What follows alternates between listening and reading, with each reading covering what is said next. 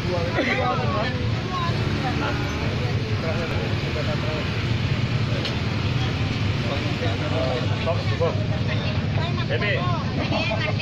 kalau ini banyak stok Artinya bukan berarti ada itu. Ini sekarangnya ah.